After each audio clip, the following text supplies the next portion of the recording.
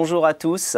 Nous sommes heureux de vous retrouver pour cette troisième journée du sommet franco-québécois du mentorat pour entrepreneurs. Je me présente, Fabrice Geffroy, je suis délégué général de l'IME, l'Institut du mentorat entrepreneurial, qui vise à accélérer et accompagner les entrepreneurs qui réalisent plus d'un million d'euros de chiffre d'affaires et qui sont en forte croissance. Le mentorat pour entrepreneurs est un accompagnement entre pairs pour soutenir les entreprises en lancement, les entreprises qui sont en pleine croissance et les entreprises également qui se repositionnent. Ce sont les mentorés. Les mentors accompagnent ces entrepreneurs avec bienveillance, écoute, avec du partage d'expérience et du questionnement. Aujourd'hui, euh, nous sommes en présence de quatre mentorés français et trois mentorés québécois pour nous faire part de leur expérience avec leurs mentors. Deux séquences pendant cette émission. Une première séquence où nous aborderons la solitude de l'entrepreneur et une deuxième séquence pendant laquelle nous verrons en quoi et comment un mentor peut accompagner un entrepreneur quand il fait des pas de géant, quand il grandit fortement. Je suis et j'ai l'honneur d'être euh, et le plaisir euh, de co-animer cette émission avec euh, Marius Brisson. Marius qui est journaliste de carrière, ça fait 20 ans qu'il travaille pour les télévisions québécoises, mais c'est également un entrepreneur qui a fondé son entreprise qui s'appelle solution.com. il est également mentor au sein du réseau Mentorat et animateur à 16 heures. Bonjour Marius. Marius, je te passe la parole. Bien, bonjour euh, Fabrice. Vraiment très heureux de participer à cette euh, réflexion sur le mentorat au jour 3 de ce sommet France-Québec. Et pour cette première partie d'émission, nous avons donc le plaisir d'accueillir deux mentorés français, une mentorée québécoise, qui ont ou sont en train de vivre une relation mentorale. Alors, permettez-moi de vous les présenter immédiatement. Sur le plateau français, Momar Mbaye, fondateur et président du groupe CNEF, éditeur de solutions web spécifiques aux entreprises de services, et Léonie Williamson, cofondatrice de Jeudi Merci, une plateforme qui permet d'automatiser l'envoi de cadeaux professionnels.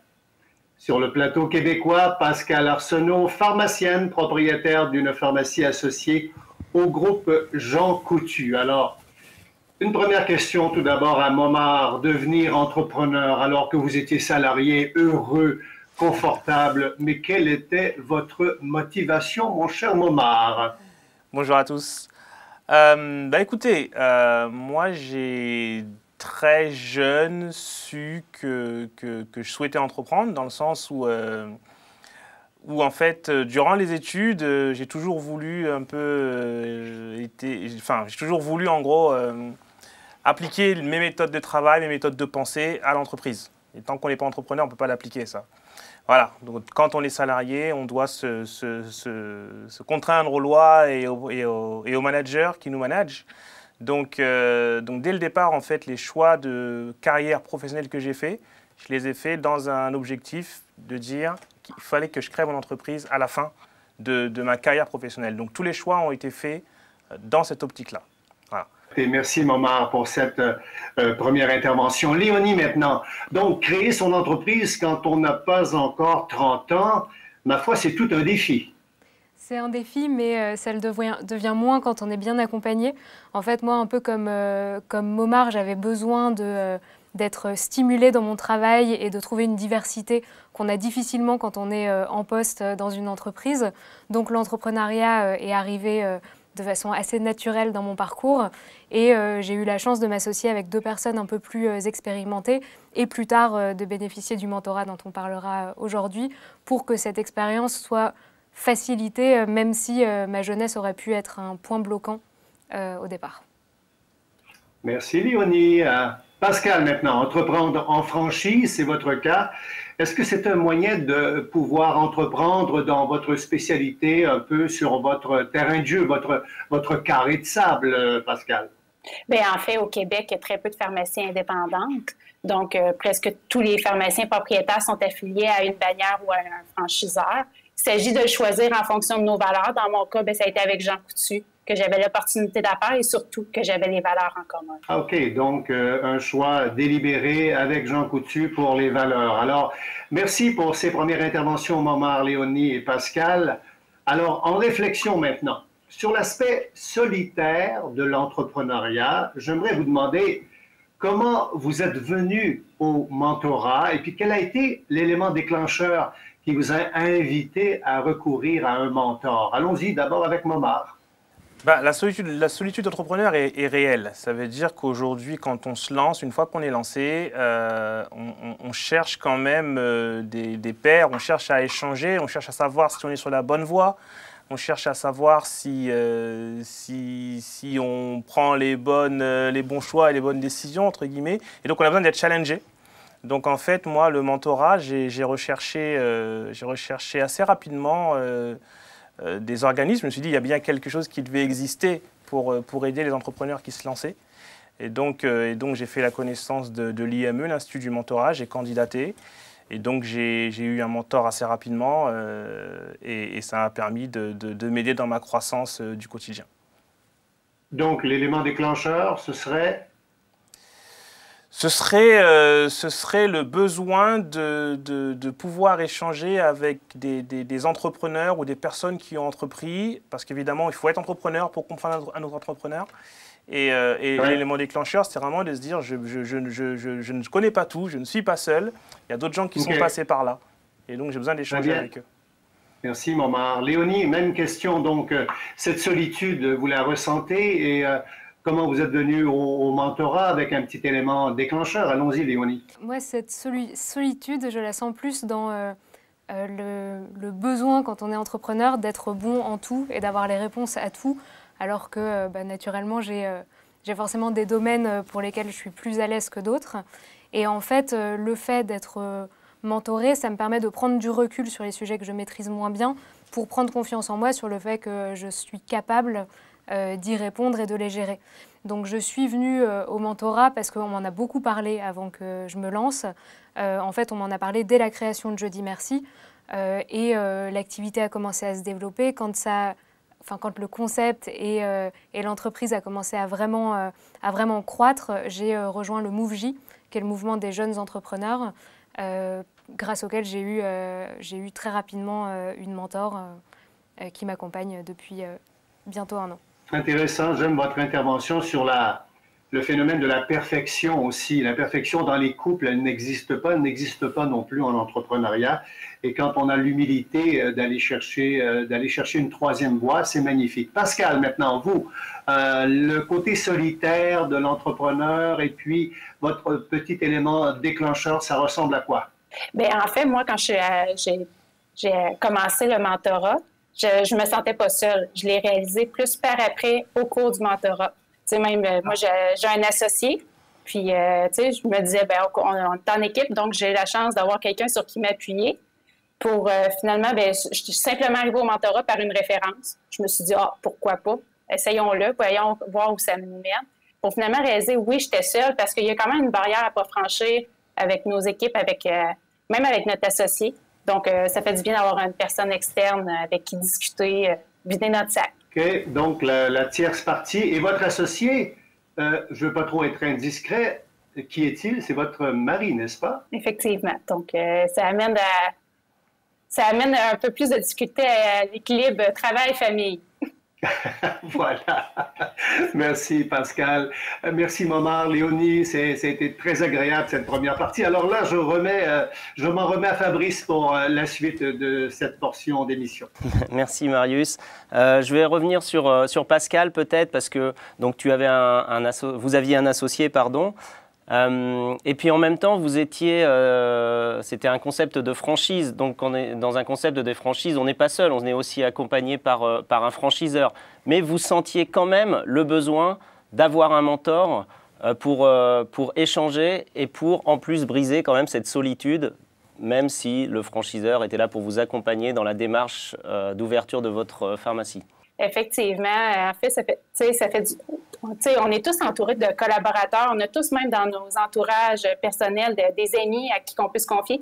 Mais quand même, ça fait du bien d'avoir un point de vue qui est neutre, impartial, pour pouvoir euh, se confier, puis euh, nous ramener sur terre aussi.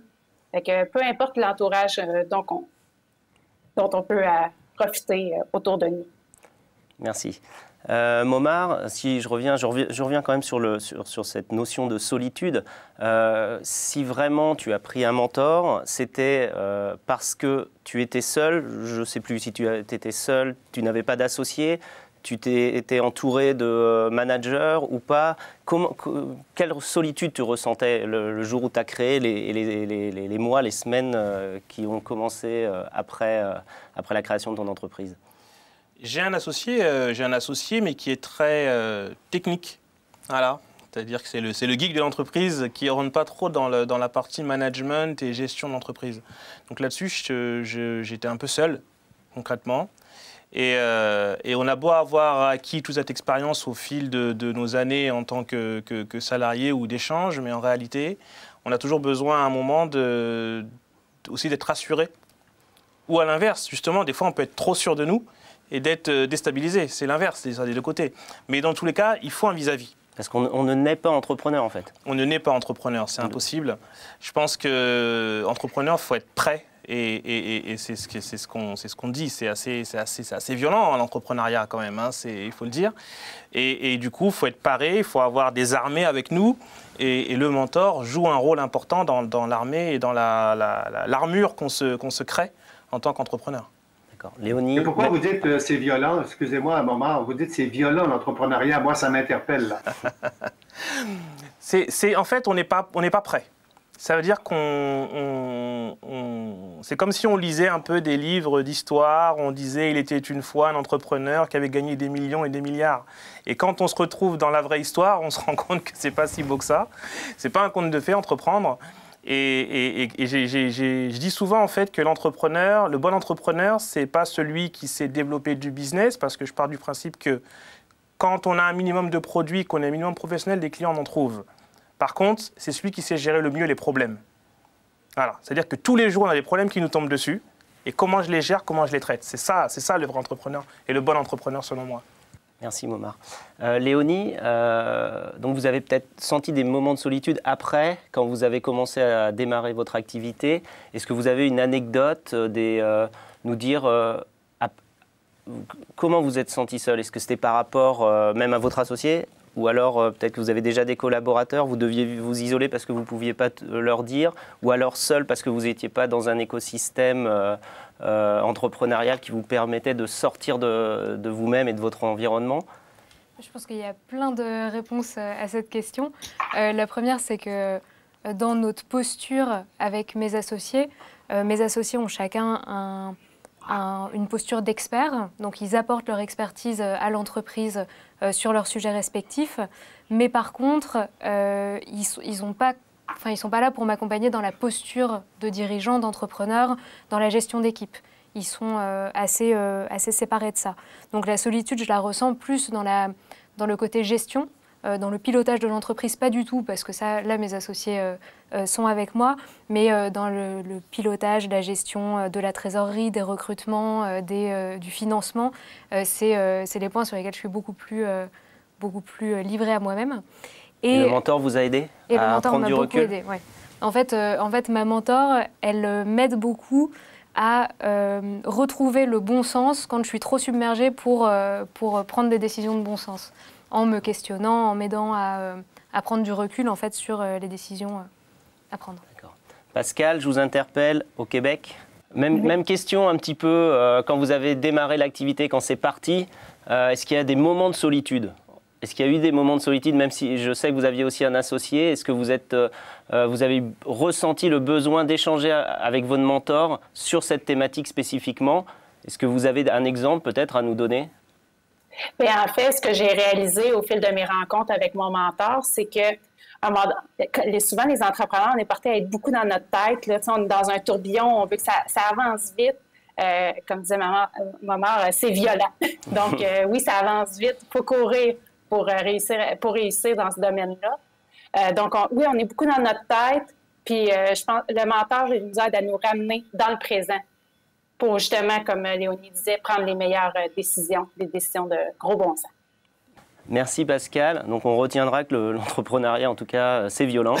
Euh, euh, je vais passer euh, la parole à Marius pour la prochaine question. Merci Fabrice. Moi, j'ai le goût de demander à nos invités ce qu'ils diraient ou suggéreraient aux entrepreneurs pour qu'ils aillent vers le mentorat. Qu'est-ce qui, qu'est-ce qui les a touchés? Qu'est-ce qui, qu'est-ce qu'ils pourraient partager avec nous dans cette, dans cette idée?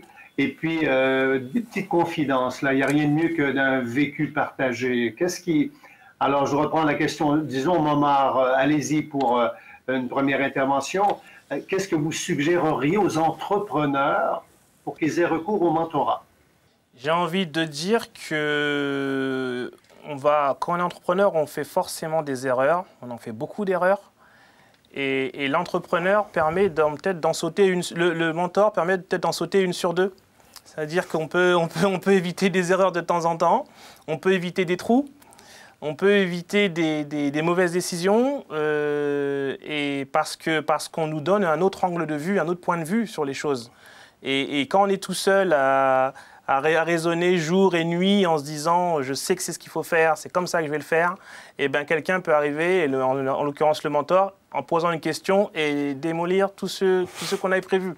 Et c'est ça l'objectif, quelque part. C'est de se remettre en question de manière perpétuelle et, de gagner du temps. En fait, on va gagner du temps. C'est-à-dire que l'entrepreneur, quand il va se lancer dans le mentorat, il va gagner du temps.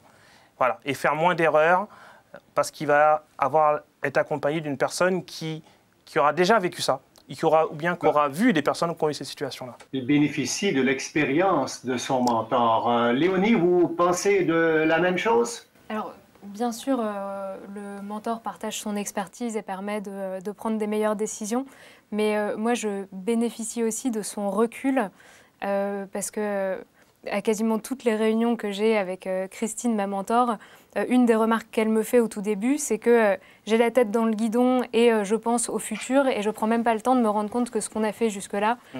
c'est vraiment bien et qu'on a atteint la plupart de nos objectifs. Et en fait, rien que bah, rien que ces remarques euh, qui, euh, qui euh, me poussent à, à, regarder et à admettre que ce qu'on a déjà fait, c'est bien, ça permet d'apporter plus de positif dans dans le, le, travail On nous le dit rarement, c'est bien en fait en tant qu'entrepreneur. Et puis en fait, dès qu'on atteint un palier, dès qu'on réussit quelque chose, on pense à la suite et donc on ne prend pas du tout le temps de d'apprécier, de, de, prendre un peu de recul sur ce qu'on a déjà fait. Donc en ça, le, moi, Christine m'aide beaucoup. Donc le mentor démolit des certitudes, euh, mais en même temps euh, permet de se sentir mieux, se sentir bien, nous conforte, vous conforte euh, dans les choses que vous avez bien faites quand même. C'est un accompagnement psychologique. Qui... Voilà, parce que personne ne nous dit c'est bien quand on est entrepreneur. Mm. Nous, on dit c'est bien à nos salariés, mais nous, personne ne nous dit c'est bien ou c'est pas bien. Et, je pense qu'un des travers de la plupart des entrepreneurs, c'est d'être trop exigeant avec eux-mêmes. Et donc de toujours vouloir avoir plus, même si euh, ce qu'on a déjà peut, euh, peut être euh, un bon début. Il y a un aspect carpe diem là-dedans, hein, saisir le moment présent. Pascal, vous aussi, dans ce, qu'est-ce que vous diriez aux, aux, entrepreneurs pour qu'ils recourent au mentorat avec une petite anecdote peut-être, Pascal? Moi, je dirais, ben, pourquoi pas? oui. Moi, je suis arrivée là avec, avec aucune attente.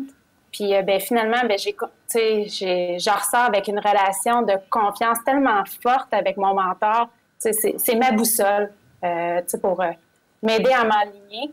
Puis ça fait en sorte qu'aujourd'hui, je me considère comme une meilleure personne, une meilleure mère, une meilleure pharmacienne, puis surtout une meilleure entrepreneur. Donc, cette boussole-là est importante dans ma vie. Fait que je pense que l'essayer, c'est l'adopter. Puis je pense que les autres entrepreneurs ont tout à y gagner aussi. Bravo, bravo, hein, quand on dit que le mentorat euh, apporte des bienfaits euh, au plan personnel, au plan euh, professionnel, ça c'est un bel exemple. Merci. Alors donc, si on prenait l'entrepreneuriat et on se disait par exemple, comment on peut le rendre comment le mentorat peut être plus visible pour l'entrepreneur? On sait qu'en France, Emmanuel Macron a annoncé un budget de 30 millions d'euros pour permettre aux jeunes d'avoir accès à des mentors. Alors, vous autres sur le plateau, euh, Momar et Léonie, et puis Pascal au Québec, si vous aviez un petit pourcentage de cette somme, vous feriez quoi pour euh, favoriser le mentorat et l'aide aux entrepreneurs? Allons-y avec Momar d'abord. Bonne question, bonne question, Marius. Euh, Là, il y a de l'argent sur la table quand même. Il y a hein? de l'argent sur la table. Je double, je double. Ouais. Non, je pense que je pense qu'il faut le démontrer parce qu'aujourd'hui, je pense que c'est encore trop, euh, c'est encore trop peu connu. Euh, Est-ce qu'il faut utiliser les médias de masse pour le démontrer à travers des témoignages, à travers peut-être des téléréalités, à travers ce genre de choses, utiliser ce genre de médias et ce genre de. Aujourd'hui, on voit bien les émissions pour euh, pour des entrepreneurs qui pitchent pour lever des fonds. On pourrait demain avoir une émission de, de, de mentorat euh, pour monter l'accompagnement depuis la création de l'entreprise jusqu'à euh, le, le succès ou, ou l'échec d'ailleurs. Et, euh, et voilà, donc, mais que les jeunes puissent se retrouver dans, dans des choses de très concrètes qui leur parlent.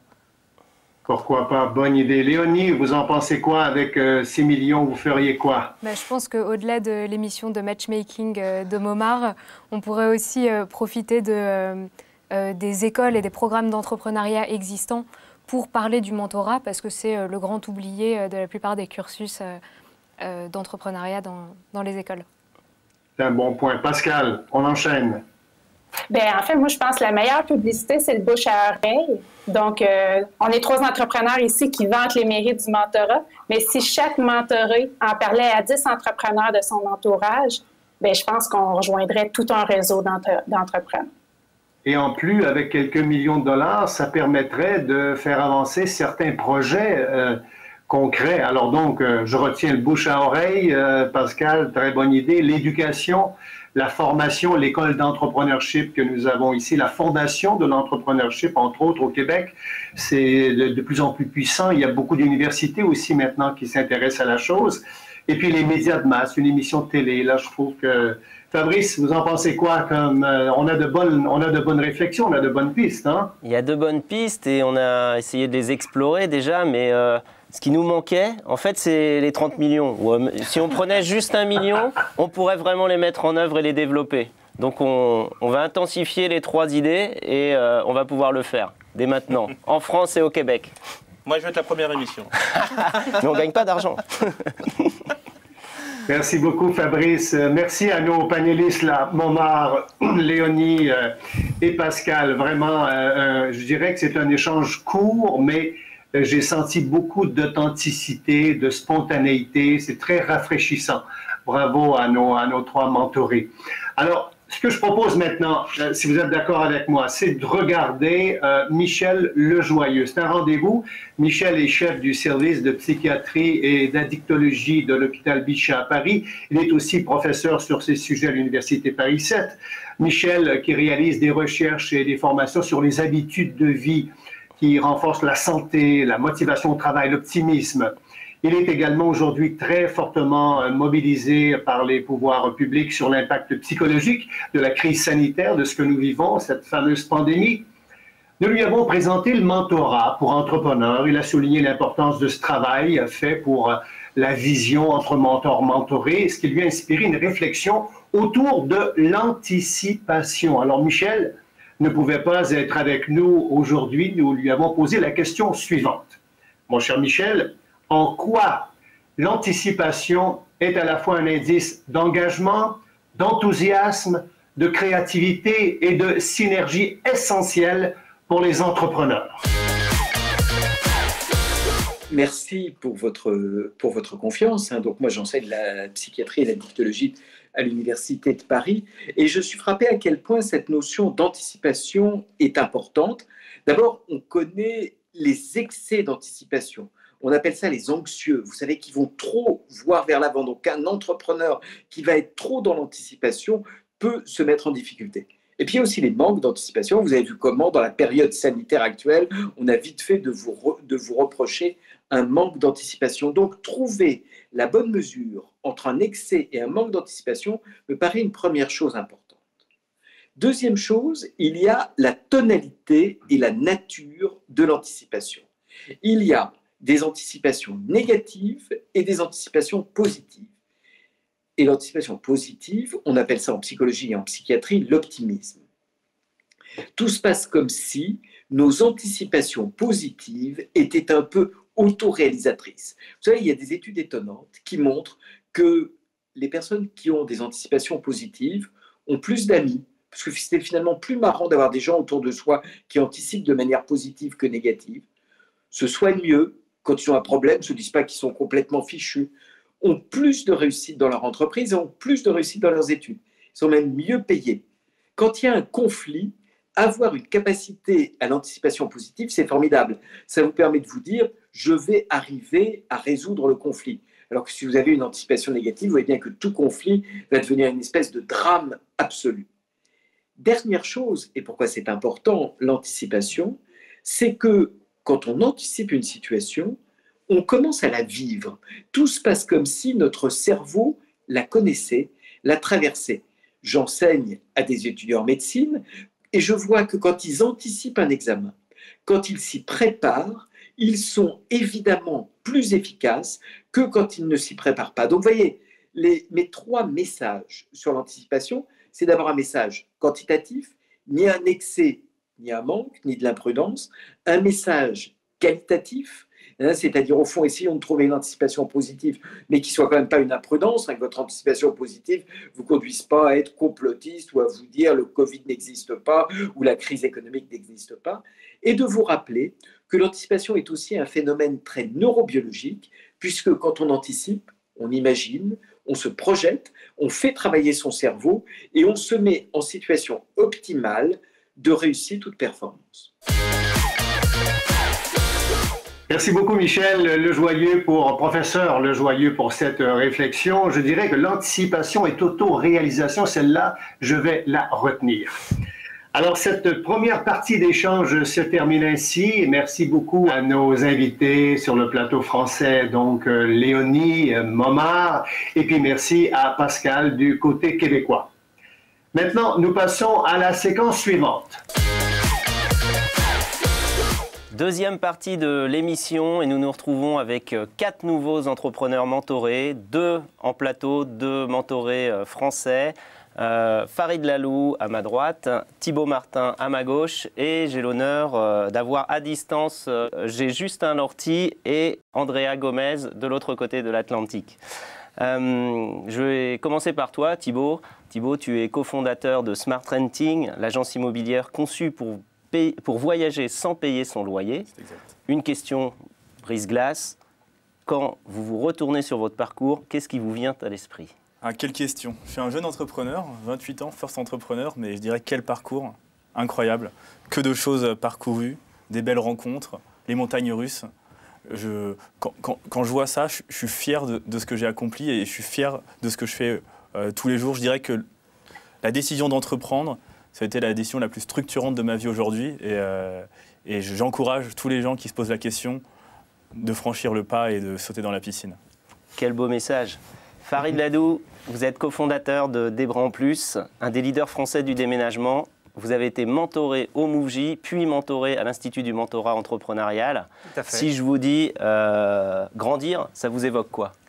Eh ben, un petit complément d'information. J'ai été mentoré, maintenant je suis mentor. Donc, euh, sur l'aspect grandir, on, y est aussi. Après, le mot grandir me donne un, petit sentiment de, solitude. Parce que pour moi, je n'ai pas l'impression de grandir seul. Parce que grandir, c'est très vertical. J'ai l'impression que ça va plus loin. Moi, j'ai l'impression d'évoluer et que mon environnement autour de moi évolue avec moi. Et en fait, je pense qu'on se fait tous grandir les uns les autres. Et c'est ça que je trouve très fort. Moi, d'une manière solitaire, de me dire que je grandis, je ne le sens pas au quotidien. Mais par contre, de me dire que mon écosystème évolue, ah oui, je le sens complètement. Grandir avec les autres, c'est du mentorat. Je me tourne vers euh, Justin. Euh, Justin, vous êtes fondateur de Wedge, qui est un studio, de création axé sur le design, et vous êtes mentoré au réseau Mentorat de Montréal.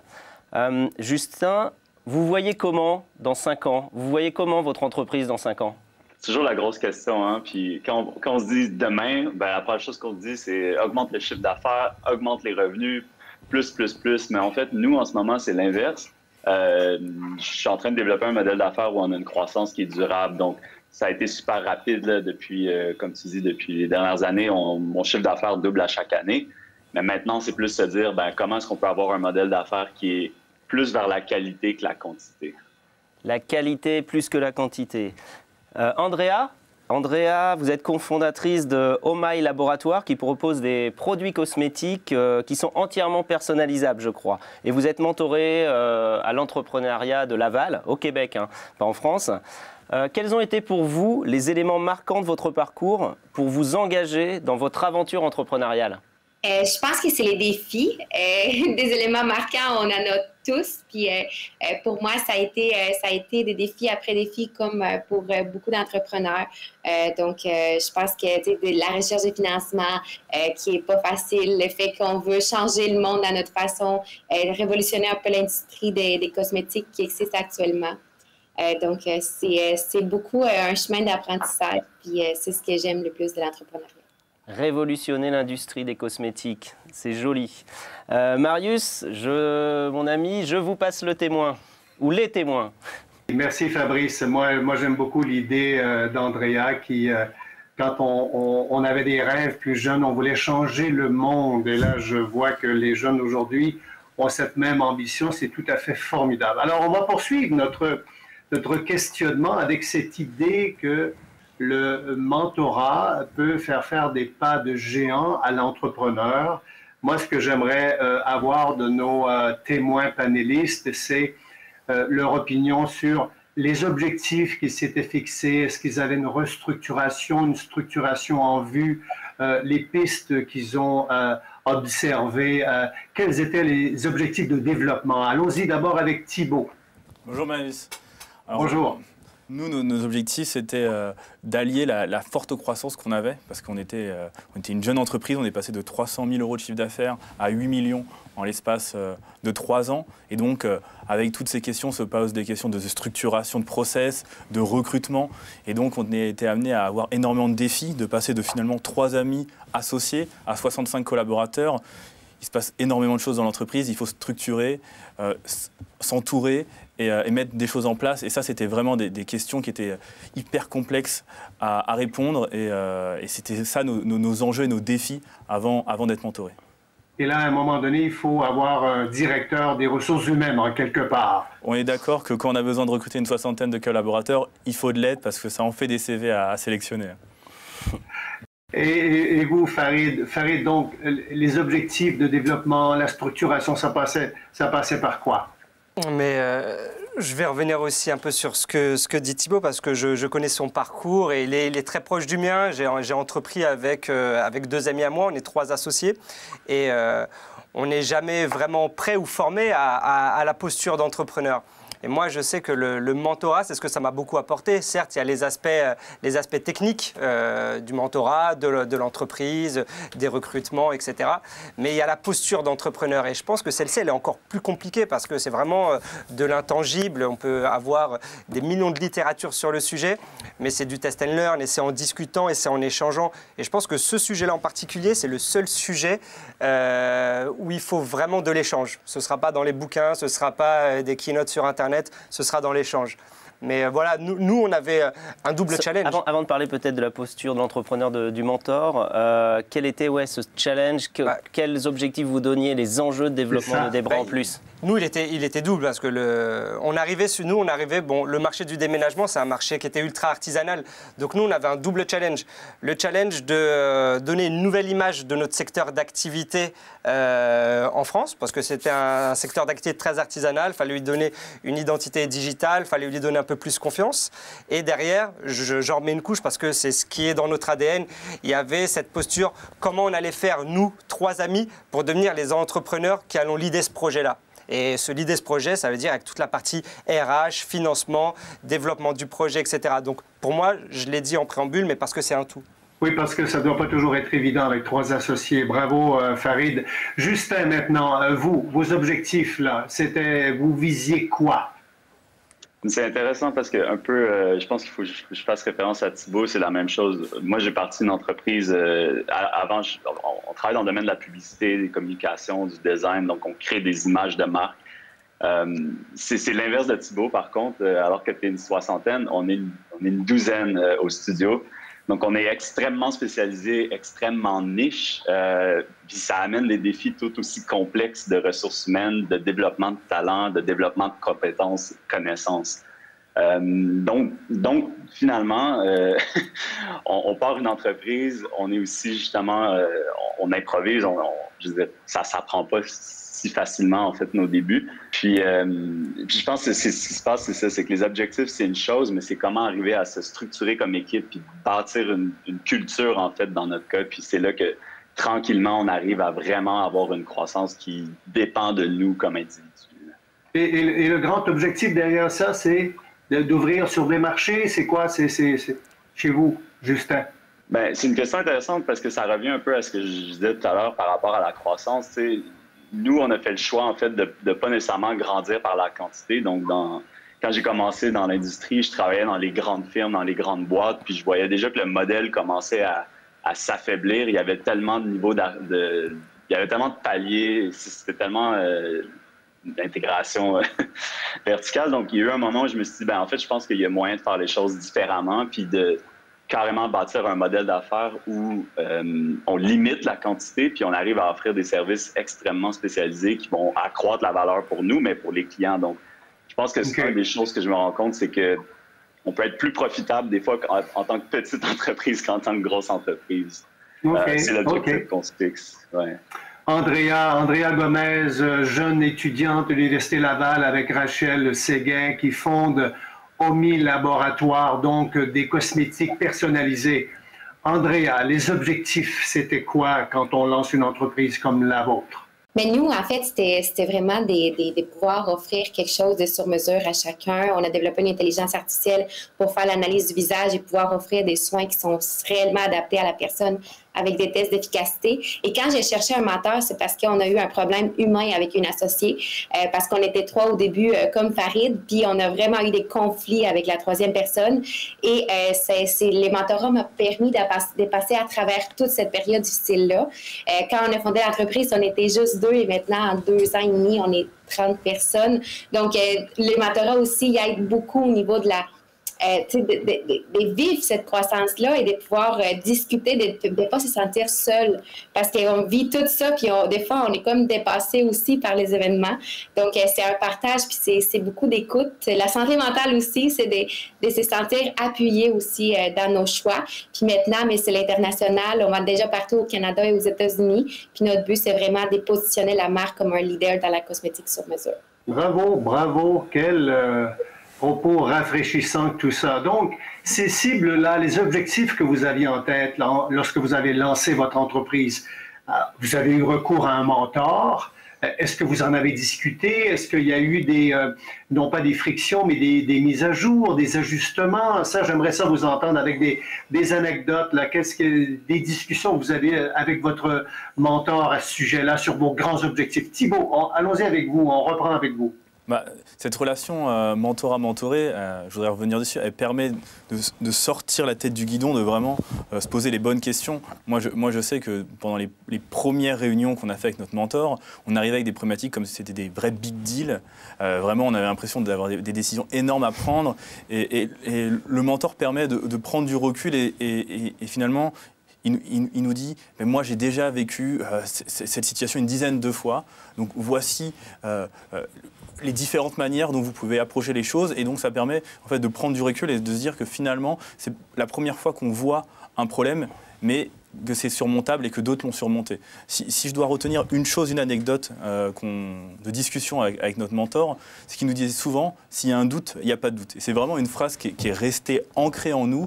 Et maintenant, on, dès qu'on a un, doute sur une décision, euh, par exemple, recruter ou pas recruter, on prend des décisions euh, je dirais, tranché, drastique, et on ne prend pas de demi-mesure. C'est vraiment quelque chose que, le, mentorat ou ces discussions mentorat nous, nous auront appris, c'est d'éviter les demi-mesures et de savoir prendre des décisions franches et honnêtes. Alors, alors s'il y a un doute, il n'y a pas de doute, ça veut dire, ça veut dire qu'il faut prendre une décision. C'est ce que je comprends, Thibault. Exactement. Quand il y a un doute, il y a pas de doute. Il faut prendre une décision. Il ne faut pas rester dans, dans quelque chose de tiède. OK. Farid, allez-y, euh, Farid, avec vos conversations secrètes avec votre mentor. On veut tout savoir. vous, êtes au, vous êtes au confessionnal, on vous écoute. mais déjà, le, quand, il y a un doute, il n'y a pas de doute. Euh, ça, là, je la garderai. Elle est vraiment bien. Donc, euh, Thibaut, c'est pas mon, mentor, mais malgré tout, on peut échanger et prendre des, des bonnes pratiques les uns les autres. et nous, on avait, et si je peux me permettre, on avait un maire à Montréal qui s'appelait Jean Drapeau qui disait lorsqu'il n'y a pas de solution, c'est parce qu'il n'y a pas de problème dans cette optique-là. Alors allons-y sur le doute. Poursuivez, Farid. Euh, bah, moi, je vais venir sur, euh, sur, l'anecdote parce que je pense que c'est sympa d'aller dans le, dans le concret. Mais moi, je vais vous surprendre. Dans... Donc, moi, j'ai eu deux relations mentorales. Donc, une première vraiment early stage avec le MoveJ et ensuite, une fois que l'entreprise avait bien avancé avec l'IME. Et sur la deuxième relation mentorale, dites-vous bien qu'on n'a jamais parlé de déménagement. Je ne sais même pas si un jour on a utilisé le mot déménagement euh, dans, euh, dans, notre relation qui a bien duré 18 mois. Euh, et, et, donc c'est pour ça que tout à l'heure j'ai un peu monopolisé la parole sur le, terme oh. de, la, de, de, la, de la posture, mais c'est parce que c'est quelque chose qui nous a, qui nous a beaucoup marqué.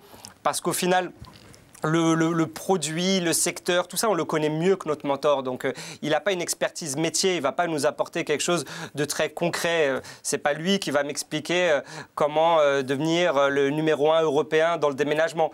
Mais par contre, faire en sorte que je recrute bien, faire en sorte que je, je, gère bien ma trésorerie, faire en sorte que je sois toujours innovant. Et ça, c'est des valeurs, c'est des éléments qui sont universels. D'ailleurs, c'est pourquoi, en tout cas, je crois que c'est un petit peu généralisé dans le concept de mentorat, mais on essaie de ne pas avoir des gens du même secteur d'activité.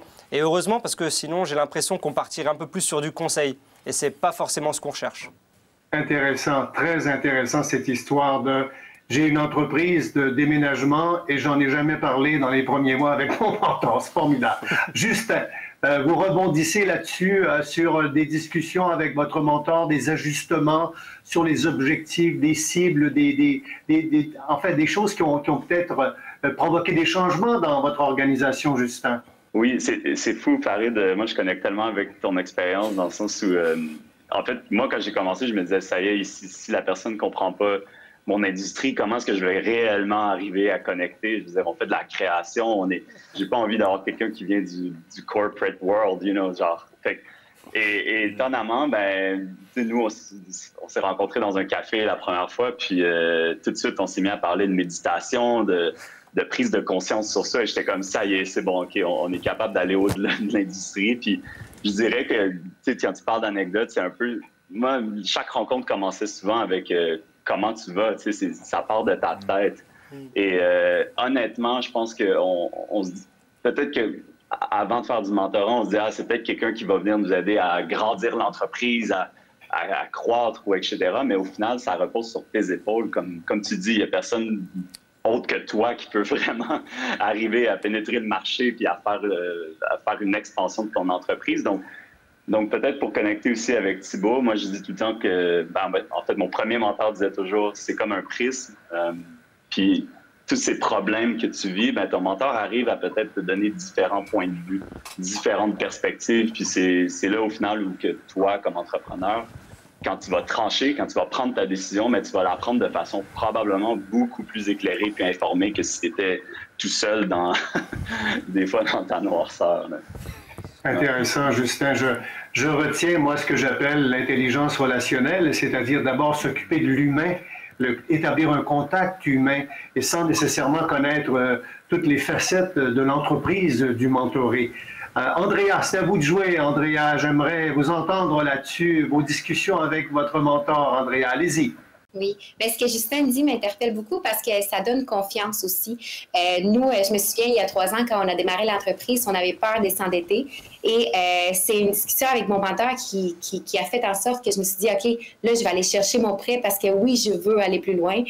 puis des fois, sans risque, mais il n'y a rien qui arrive. Là. Si on reste dans les statu quo, il n'y a rien qui change.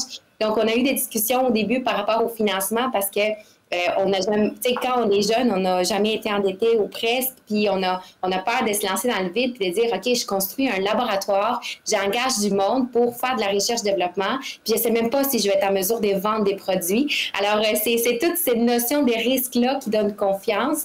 Et maintenant, je vous, que moi, j'ai étant une personne qui aime ça, les opportunités, mais des fois, c'est difficile de garder le focus, puis on se fait proposer des partenariats, des alliances, des nouveaux projets. Et mon mentor, il, me dit toujours, Andrea, focus, c'est quoi ton but dans la vie? Pourquoi tu fais ça? On revient au why, les pourquoi internes à nous. Et ça, me permet, moi, personnellement, de rester dans, mon focus et de pas dévier avec toutes les, milliers d'options qui s'offrent à nous en tant qu'entrepreneurs et en tant qu'humains, de façon professionnelle aussi. Alors, euh, c'est c'est toute cette réflexion-là et, le fait d'avoir euh, des personnes qui l'ont déjà fait, mais ben, ça nous donne confiance quand ils nous appuient dans nos choix. Intéressant, intéressant. Je regarde les, les, quatre. Je vais passer la parole à, Fabrice sur le plateau français. Euh, euh, donc, euh, merci de vos interventions. Fabrice, pour la suite des choses. Si, Marius, oui, quelle énergie, quelle énergie chez, ces quatre entrepreneurs. Euh, c'est admirable. Et alors, une question, et répondez assez rapidement, mais si cette énergie, vous la mettiez aussi au service du développement du mentorat en France et au Québec, qu'est-ce que vous pourriez faire pour que le mentorat se développe? Et euh, l'aider à, insuffler et euh, euh, permettre à d'autres entrepreneurs de grandir et de croître dans de belles aventures telles que vous, vous les avez vécues. Je vais, je vais repasser la parole à Justin, au Québec. Je pense qu'il faut simplement encourager nos, amis entrepreneurs à faire du mentorat. Je pense, je pense que j'ai déjà convaincu au moins quatre amis entrepreneurs qui en ont. Et honnêtement, et je parle pour eux, mais ça les a sincèrement aidés. Euh, je pense que quand on commence une entreprise, euh, moi, je me, je me souviens la, la quantité de problèmes qu'on dirait qu'on a. Puis c'est drôle parce qu'ils sont tout petits, mais il n'y a, pas de, il y a pas de petits ou de grands problèmes. Il y a tout le temps quelque chose à résoudre. Fait et je pense que moi, ce qui m'avait fait rentrer dans, le mentorat, c'était juste que peut-être la chance, en fait, de ne pas répéter les erreurs que quelqu'un d'autre euh, a, fait avant toi. Puis je pense que ça, c'est tout un privilège. Ah, merci, Justin. Andrea, je vais préciser ma question. Est-ce que. Euh, euh, comment vous pourriez faire en sorte de devenir une ambassadrice du mentorat? Au Québec ou dans le monde, en même temps que conquérir le monde avec les produits cosmétiques sur mesure? Mais je pense que c'est aussi de m'adorer, comme euh, Farid l'a dit tantôt. Je pense que c'est important aussi de donner au suivant. Puis euh, notre expérience entrepreneuriale, euh, peu importe dans quel domaine, on vit un peu les mêmes choses et les défis sont souvent reliés, sont souvent les mêmes. Alors, on va pouvoir aussi nous aider les autres entrepreneurs puis devenir mentors à notre tour. donc, pour moi, ce serait ça. Thibault, déjà, je vais, rapidement. Je vais féliciter Justin parce que c'est un super VRP du mentorat. Hein. déjà, quatre personnes qu'il a embrigadées dans, cette aventure, donc euh, félicitations. Bah, je dirais le partage d'expérience. Je pense que c'est la, chose la, plus sincère, la plus authentique. Je pense que si on est tous ici à vouloir en parler, c'est qu'on est conquis euh, par, ce, par cet accompagnement, par ce partage d'expérience. Et je pense qu'en en, parlant de notre aventure, de nos discussions, de l'apport de ce réseau euh, à d'autres entrepreneurs qui se posent la question, il ah n'y bah, a, pas de raison qu'ils ne viennent pas avec nous. Et devenir mentor aussi peut-être. Exactement, et devenir mentor aussi à notre tour. Alors Farid, toi tu l'es déjà mentor. Qu'est-ce que tu peux faire de plus? On fait déjà beaucoup pour, euh, pour devenir un ambassadeur. En complément de tout ça, moi, euh, rien de bien original, mais je pense que euh, quand on est convaincu, on n'a pas besoin de faire beaucoup d'efforts pour être convaincant. Et, et ça va de soi. Merci Farid, merci à tous, merci euh, beaucoup Marius. Euh, simplement pour conclure, vous dire que euh, c'était un réel plaisir d'être avec vous sur ce plateau et à distance et qu'on va vous laisser. Demain, nous allons parler, continuer à parler lors du quatrième jour du sommet France-Québec de mentorat évidemment, mais nous verrons et nous interrogerons cette fois-ci des mentors pour euh, savoir comment eux ils accompagnent et comment eux aussi ont vécu le mentorat. Merci à tous, à demain.